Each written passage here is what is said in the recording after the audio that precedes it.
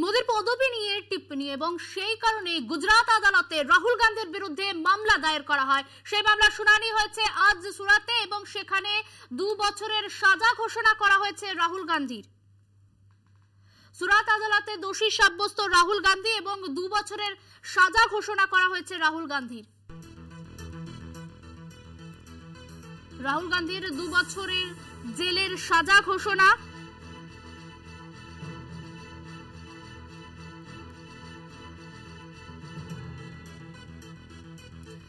প্রধানমন্ত্রীর নামে অবমাননাকর মন্তব্যের অভিযোগ রাহুল গান্ধীর বিরুদ্ধে।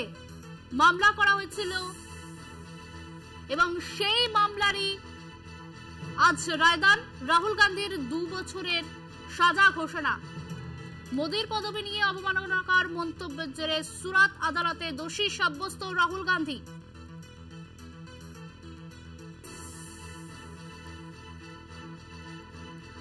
বিজেপি মুখপাত্র শ্রমিক ভট্টাচার্য রয়েছেন আমাদের সঙ্গে টেলিফোন লাইনে। শ্রমিক বাবু, আপনাকে স্বাগত। কলকাতা টিভিতে মোদি এই পদবি নিয়ে অবমাননাকর মন্তব্য এবং যার জেরে আজ রাহুল গান্ধীর সাজা ঘোষণা করা হয়েছে। কি প্রতিক্রিয়া আপনার?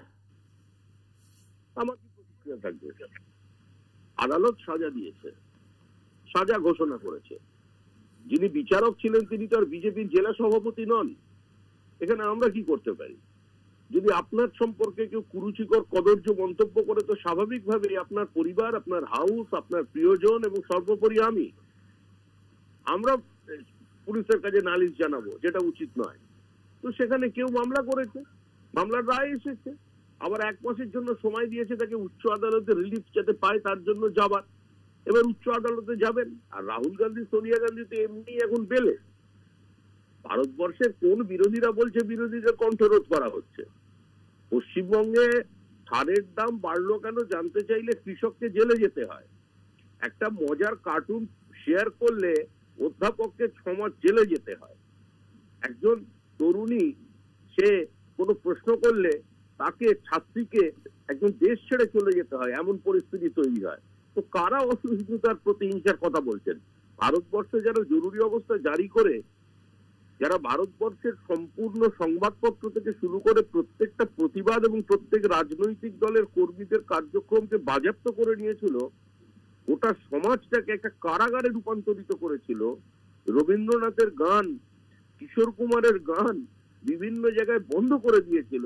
আজকে তারা এইসব গণতন্ত্রের কথা বলবে, ভারতবর্ষের সবচেয়ে বেশি তিনশো ছাপ্পান্ন ধারা প্রয়োগ করেছে কংগ্রেস। যে বামপন্থীরা আজকে এদের সঙ্গে একসঙ্গে বসে এখানে সংসার করছেন, তাদের নির্বাচিত প্রথম সরকার নামুদ্দিবাদের সরকারকে তিনশো ছাপ্পান্ন ধারা জারি করে ভেঙে দেওয়া হয়েছিল। তখন কংগ্রেসেরই আবার কিছু কিছু নেতা তার প্রতিবাদ করেছিলেন, তার মধ্যে বিধানচন্দ্র রায় ছিলেন অন্যতম তিনি লিখিত প্রতিবাদ জানিয়েছিলেন যে গণতান্ত্রিক পদ্ধতিতে যেটা কোনো সরকারকে এভাবে ফেলে দেওয়া যায় না। তারা গণতন্ত্রের কথা বলছেন। লালু প্রসাদ যাদব যিনি প্যারলে আছেন, তাদের থেকে শিখতে হবে ভারতবর্ষের গণতান্ত্রিক চেতনার কথা। যে লালু প্রসাদের যাবার কথা ছিল জেলে, সোনিয়ার আশীর্বাদে, তিনি চলে গিয়েছিলেন রেলে। এখন আবার সোনিয়া গান্ধী নিজেই বেলে। তো ওখানেও যখন বেলে আছেন, এখানেও বেল পাবেন? আদালতের কাছে যান। এটা নিয়ে কোনো রাজনৈতিক বিতর্কের অবকাশ নেই।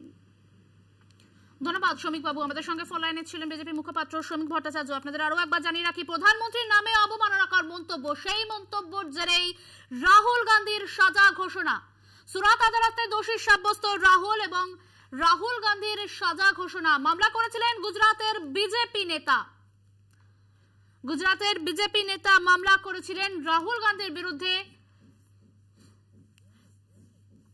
আজ সাজা ঘোষণা রাহুল গান্ধীর। সুরাত আদালতের দোষী সাব্যস্ত হন রাহুল। দু বছরের সাজা ঘোষণা রাহুল গান্ধীর। দু বছরের জেলের সাজা ঘোষণা হলো রাহুল গান্ধীর। প্রধানমন্ত্রীর পদবি নিয়ে অবমাননাকর মন্তব্য করেছিলেন রাহুল গান্ধী।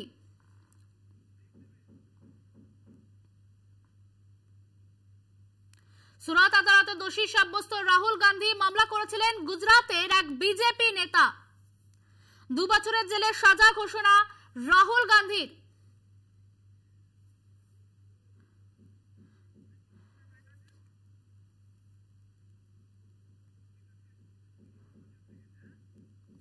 সুরাত আদালতে দোষী সাব্যস্ত হন কংগ্রেস নেতা রাহুল গান্ধী। মামলা করেছিলেন গুজরাতের বিজেপি নেতা।